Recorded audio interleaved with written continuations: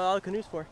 Uh, we're going downstream. This is uh, leg, I think, seven of Paddle to the Sea. Mhm. Uh, we started up at the Whitewater section, uh, up in the Wild and Scenic River, and we're going all the way to the ocean. We'll go under the Golden Gate Bridge in about two weeks.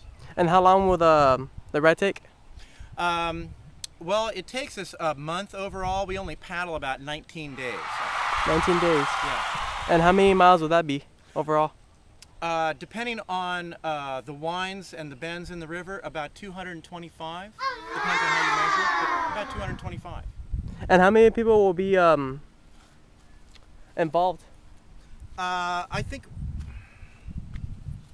I'm going to take a guess at about 400. It's pretty good.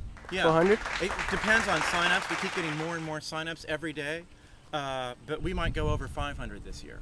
That's great. And we have uh, four people are doing it all the way from the top to the bottom.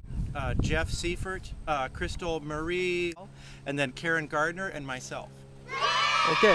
And how many uh, guides will we have along the way? How many guides? Well, I'm the, uh, the principal guide, and then there's uh, going to be like a half a dozen or a dozen other people that pitch in uh, at various points and help guide. All right. Have you met uh, Isaac and Javier? They're guiding today. They're great. Um, and uh, Jessie Raeder came in and guided a little bit. Uh, Patrick from the River Trust uh, guided, and Eric, the director, also guided.